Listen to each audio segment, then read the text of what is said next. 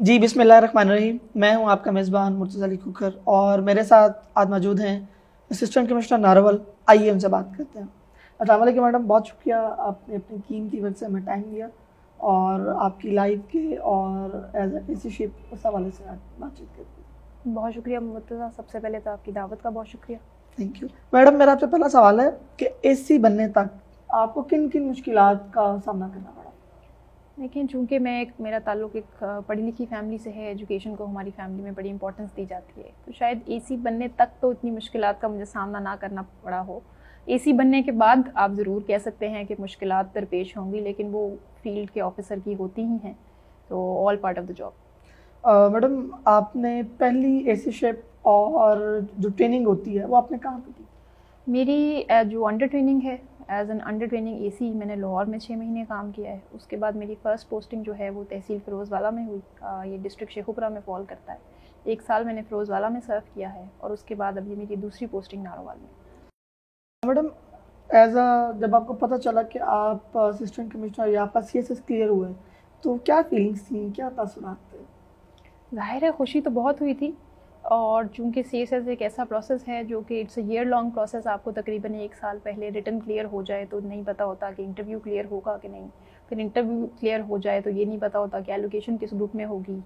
तो ये है कि मेरी फैमिली ने इस सब में मुझे काफ़ी सपोर्ट किया है। उन्होंने मेरी काफ़ी मतलब हिम्मत जो है वो बनाए रखी। तो जब रिज़ल्ट आया तो ज़ाहिर है बहुत खुशी हुई मुझे भी, मेरी फैमिली को भी।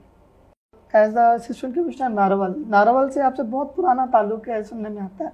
इस हवाले से क्या कहेंगी? नारोवाल से मेरा पुराना ताल्लुक आप इस सेंस में कह सकते हैं कि मेरे ग्रैंडफादर और मेरे फादर जो हैं, वो नारोवाल में 1950s और 60s से लैंड ओनर्स भी रहे हैं और यहाँ बिज़नेस भी करते रहे हैं। अब अल्लाह मफ़रत कर रहे दोनों ही बहुत है फास्ट हुए। लेकिन, उस टाइम पे नारोवाल जो है it was a part of tehsil Sialkot ज़िला सियालकोट तो ये सियालकोट की तहसील हुआ करता था और फिर मेरी पैदाइश से पहले नारोवाल एक अलग डिस्ट्रिक्ट बन गया और सियालकोट एक अलग डिस्ट्रिक्ट रह गया। तो इस हवाले से आप कह सकते हैं कि मेरा ताल्लुक नारोवाल से बिलखसूस जबरवाल से काफ़ी पुराना है। मैडम यूजली आम तौर पर देखा जाता है हमारी सोसाइटी में ख़ातून होना और एज ए सी या डी सी काम करना खासा मुश्किल होता है। इस हवाले से क्या कहेंगी? आपका कैसा एक्सपीरियंस है? देखिए, पाकिस्तानी सोसाइटी में आप अगर अर्बन स्टेशन पे देखें या बड़े स्टेशन या मेट्रोपॉलिटन स्टेशन पे देखेंगे तो आपको शायद ये फ़र्क इस हद तक महसूस ना हो। जो एक्सपेक्टेशन एक मेल ऑफिसर से हैं, वही एक फ़ीमेल ऑफिसर से होंगी। जो ट्रीटमेंट या प्रोटोकॉल एक मेल को है, वही एक फ़ीमेल को है। लेकिन जैसे जैसे आप साइड स्टेशन के ऊपर या रिलेटिवली रूरल स्टेशन पर जाते हैं तो आपको ये फ़र्क वाजिया थोड़ा सा लगना शुरू हो जाता है। आप इसकी मिसाल ले लें कि नारोवाल एज ए तहसील 1951 में डिक्लेयर हुई थी। अब 1951 ऑनवर्ड ये 2021 है और मैं यहाँ की दूसरी खातून एसी हूँ। इससे पहले आज तक यहाँ पे सिर्फ़ मेल एसी ही सर्व करते आए हैं। तो I think Aahista Aahista Pakistan progress भी कर रहा है, मूव भी कर रहे हैं इस सेंस में कि एक्सेप्टेबिलिटी माशरे में फ़ीमेल ऑफिसर्स की जो है वो बढ़ती जा रही है। और आई एम श्योर आगे मज़ीद फीमेल ऑफिसर्स अगर फ़ील्ड में आती जाएँगी और फ़ील्ड जॉब्स एक्सेप्ट करेंगी तो ये सिचुएशन मज़ीद बेहतर हो जाएगी। मैडम एज ए सी वकला का प्रेशर और पॉलिटिकल प्रेशर कैसे मैनेज करते हैं? देखिए बुकला का प्रेशर और पॉलिटिकल प्रेशर दोनों के लिए आपका एक ही उसूल होना चाहिए। जायज़ काम आपने सबका करना है। और जहाँ तक बात रही कुछ कामों के लिए आप पे प्रेशर होता है कुछ काम जल्दी करने का प्रेशर होता है और कुछ ऑब्वियसली ऐसे काम भी होते हैं जो कि नहीं होने वाले होते हैं। तो आई थिंक इसमें एक गिव एंड टेक की पॉलिसी और कैरेट एंड स्टिक की पॉलिसी जो है वो चलती है।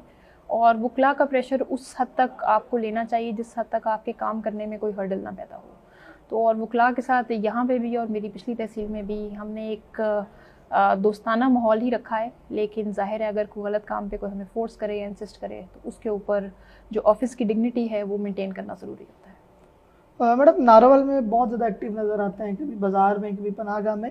तो हमने बहुत देखा है कि जी आपने नारावल में बहुत ज़्यादा कब्ज़ा जो है, वो जगह जो है अपने वालगर पे। इस हवाले से क्या कहेंगी? कौन कौन सी मुश्किल का सामना करना पड़ा? देखिए, नारोवाल में जो एक बहुत मेन प्रॉब्लम जो है, मैंने आकर देखी थी, वो एक तो ये थी कि यहाँ का ड्रेनेज सिस्टम और सेवरेज सिस्टम जो है, वो चूँकि नहीं डला हुआ। तो बहुत बड़ी प्रॉब्लम जो है, वो मुख्तलिफ़ जोहड़, छप्पड़ और गड़ा खाद की जगहों के ऊपर इलीगल ऑक्यूपेशन थी। उसको छुड़ाने के लिए हमने एक स्ट्रैटेजी बनाई थी कि हम वीकली अपने तीन ऑपरेशन जो हैं वो फिक्स करते थे और तहसील काउंसिल और म्यूनसिपल जो कमेटी है, इन दोनों के स्टाफ की मदद से हमने ये प्रोग्राम तश्कील दे दिया है कि हमने वीक के अंदर एक हम टारगेट सेट करते हैं कि हम इतनी जगहों से कब्ज़ा जो है वो छुड़ा लेंगे। उसमें ऑब्वियसली लोकल रेजिस्टेंस भी आती है आपको प्रेशर्स भी आते हैं मुख्तलिफ़ एग्ज़ाम के तो उसमें पुलिस भी जो है वो हमारे साथ कोऑर्डिनेट करती है। पुलिस की नफरी लेकर बड़े ऑपरेशन किए जाते हैं। हैवी मशीनरी का इस्तेमाल किया जाता है। लेकिन यूजुअली ये है कि लोकल्स को अगर आप ये समझाएँ कि ये आपकी ही बेहतरी के लिए है, आपकी ही गलियों से पानी की निकासी जो है वो बेहतर हो जाएगी तो आई थिंक काफ़ी हद तक हमारी प्रॉब्लम्स अब सॉल्व हो गई हैं बिकॉज़ अब ये एक ऑन गोइंग ड्राइव है जो रुकेगी नहीं, इसने मोमेंटम गेन कर लिया। मैडम, आपकी टीम कैसी है और कैसा काम कर रहे हैं देखिए, मेरी कोर टीम जो है, वो तो ऑब्वियसली मेरे रेवेन्यू स्टाफ की टीम है, लेकिन इसके अलावा मेरे साथ म्यूनसिपल कमेटी की टीम और मेरे साथ तहसील काउंसिल की जो टीम है, उस, वो बहुत मेहनत से, बहुत एफिशिएंसी से मेरे साथ काम करती है। और इसके अंदर हम हमेशा वीकली जो है, वो रिव्यू मीटिंग्स सारे जो मेरे अंडर मैक में आते हैं और जो मेरी कोर टीम है, उनकी परफॉर्मेंस को रिव्यू करने के लिए हम एक वीकली मीटिंग करते हैं। और अमूमन मंडे इवनिंग्स को हम वो मीटिंग रखते हैं, उसके अंदर हम रिव्यू करते हैं कि कहाँ हम लैग कर रहे हैं। तो ऐसा कोई भी डिपार्टमेंट जो है, वो इनएक्टिव इस वक्त नारोवाल में एटलीस्ट मेरी टीम में आपको नहीं नज़र आएगा। मैडम, नारोवाल में यूजुअली देखा जाता है कि पटवारी हजरात आम साइलिन को फ़र्ज़ टाइमली जारी नहीं करते उनको बहुत सी चीज़ों में डिले करते हैं। उसके लिए कोई ऐसा प्रोसीजर आपने बनाया है कि जो लोगों की मुश्किल हैं, वो दूर जल्दी, दूर हो सकें और उनको जल्दी चीज़ें मिल सकें? देखिए जब से कंप्यूटराइजेशन का निज़ाम आया है, तब से आप ये देखेंगे कि बहुत सी जो फ़र्द के लिए जो पूरे पूरे गाँव हैं, वो सारे कंप्यूटराइज हो गए हैं। तो वो फ़र्द आपको रिकॉर्ड सेंटर से मिल जाती है, जो कि एक मखसूस फिक्स प्रोसेस है कि जी आप फ़र्द की फ़ीस जमा कराएँ और आप अपनी फ़र्द लेकर चले जाएँ। कुछ मौजाजात अभी भी ऐसे हैं जो कि कंप्यूटराइज नहीं हुए हैं, पटवारी हजरात के पास हैं। उस सिलसिले में जो हमने एक प्रोसेस बनाया है वो ये बनाया है कि हम इसको मंथली लिस्ट वाइज हम एक परफॉर्मा जो है वो हमने तरतीब दिया हुआ है। जिसके अंदर मैं एक इन राइटिंग जो है वो रिकॉल मतलब इनसे रिकॉल कर लेती हूँ रिकॉर्ड कि कितनी फ़र्दें इन्होंने इशू की, कितनी इनके पास दरखास्तें आई फ़र्दों की, और कितने ऐसे इनके पास पर्चा रजिस्ट्री आए जिस पे इन्होंने इंतकाल करने थे और वो कर दिए या नहीं किए। इसमें अगर कहीं भी मुझे कोई लैप्स आए तो फिर उस पर्टिकुलर पटवारी के खिलाफ महकमाना कार्रवाई या जो भी प्रोसेस बनता है, वो हम इनिशिएट कर देते हैं। मेरे अपने ऑफ़िस में चूँकि ओपन डोर पॉलिसी है तो अगर कोई किसी को फ़र्द ना दे या ना मिले तो ईजी एक्सेस है कि आप किसी भी टाइम असिस्टेंट कमिश्नर ऑफ़िस में आकर डायरेक्टली बता दें कि फ़लाना पटवारी हमें इस चीज़ की फ़र्द नहीं दे रहा है, और फिर हम उसका हसूल यकीनी बनाते हैं। मैडम, नारोवल में एक ट्रैफ़िक का जो है कोई निज़ाम नहीं है। इस हवाले से कोई गवर्नमेंट ने कोई प्लान किया हो या आपकी कोई प्लानिंग में कोई चीज़ शामिल हो नारावल में अच्छी ट्रांसपोर्ट नहीं है तो इस हवाले से आप क्या कहेंगे? देखिए इसमें जो ट्रैफ़िक का मसला है वैसे तो ये ट्रैफ़िक के पूरे एक, उनका अपना एक अलग डिपार्टमेंट है जिसके अंडर आता है लेकिन हमने इसके लिए एक पॉलिसी इस सेंस में तरतीब दी है कि पिछले दिनों आपको याद होगा कि नारोवाल की एक फैमिली थी जो एक अनफॉर्चुनेट एक्सीडेंट के अंदर जो है काफ़ी सारे लोगों की जानें उसमें गई। तो उस सिलसिले में जो सेक्रेटरी हैं डिस्ट्रिक्ट रीजनल डिस्ट्रिक्ट की ट्रांसपोर्ट अथॉरिटी की वो और जो डीएसपी ट्रैफ़िक है और मैं हम लोगों ने मिल के एक पॉलिसी बनाई है जिसके तहत नंबर एक हम जो एग्जिस्टिंग अड्डा जात हैं उनकी बेहतरी करेंगे बेटर वेटिंग फैसिलिटीज़ वॉशरूम्स की फैसिलिटीज़ पैसेंजर्स के लिए वहाँ पे एस ओ पीज़ पे अमल दरामद को यकीनी बना रहे हैं। दूसरा ये कि हमने बहुत सी ऐसी सड़कें हैं जहाँ पर ट्रैफ़िक को वन वे कर दिया है। जो मेन सर्कुलर रोड है, उसके ऊपर हम हैवी ट्रैफ़िक को सुबह आठ बजे से तीन बजे तक जो स्कूल टाइमिंग्स होती हैं, उसके अंदर हैवी ट्रैफ़िक को अलाउ नहीं किया जाता, उसको नहीं आने दिया जाता। इसके अलावा डेवलपमेंट के लिए सड़कों का जो काम है, वो अब चूँकि फ़ंड्स उसके अवेलेबल हैं तो वो काम शुरू करवा दिया है।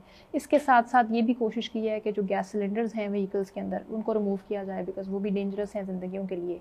तो कोशिश की जा रही है कि नाकाजात भी लगवाएँ और मतलब चौकियों के थ्रू ट्रैफ़िक को बेहतर तरीके से मैनेज करें। और मैडम, नारावल की बेहतरी के लिए कौन कौन से इकदाम देखिए नारोवाल की बेहतरी दो या तीन तरीक़ों से जो सबसे इमीडिएट आपके इफ़ेक्टिव मेजर्स हैं, वो एक तो ये है कि आप इन विजन जो है वो गवर्नमेंट की भी और इमरान खान साहब की भी, वो ये है कि नारोवाल को ग्रीन बनाया जाए। यहाँ पे industry rice mills flour mills वगैरह, इस किस्म की इंडस्ट्री पाई जाती है। तो एक तो ये हम अर्बन एफॉरेस्टेशन का कर रहे हैं और पिछले साल भी यहाँ पर तकरीबन डेढ़ लाख पौधा लगा और इस साल भी हम इसी किस्म का टारगेट साथ लेकर चलेंगे। तो हम पार्सल्स ऑफ़ लैंड आइडेंटिफाई करते जा रहे हैं जहाँ पर हम ये प्लांटेशन ड्राइव लेके चल सकें। दूसरा हमारा मेजर फोकस जो है वो एंटी इंक्रोचमेंट ड्राइव पे है। तो आप देखेंगे कि अब अगर आप नारोवाल की मेन रोड सर्कुलर रोड पे या पुरानी कचहरी के पास से गुजरे तो आपको सड़कें थोड़ी कुशादा महसूस होंगी। वो इस सेंस में होंगी कि जो साइड के ऊपर माइनर इंक्रोचमेंट थी रेडीज़ और ये स्मॉल वेंडर्स जो होते हैं, इनको हमने एक डेजिग्नेटेड जगह दे दी हैं कि ये उस साइड के ऊपर वहाँ एक मेन अपना ये रोज़गार का सिलसिला जो है वो जारी रख सके, लेकिन मेन रोड जो है उस पर ट्रैफ़िक की प्रॉब्लम को ईज़ आउट किया जाए। और तीसरा जो हमारा बड़ा फोकस है जैसे आपने पहले हाईलाइट किया वो ये है कि कब्ज़ा माफिया से लैंड छुड़ानी और वो चाहे किसी का भी कब्ज़ा है उस सिलसिले के अंदर डीसी साहब की भी बड़ी क्लियर डायरेक्शन है गवर्नमेंट की भी बड़ी क्लियर डायरेक्शन है कि जी कब्ज़ा छुड़ाया जाए। और मैडम लास्ट पे नाजरीन को आप क्या पैगाम देंगी एज असिस्टेंट कमिश्नर और एज अ खातून फीमेल क्या message as an assistant commissioner तो मेरा आप सबको यही पैगाम होगा कि कानून की पासदानी करें।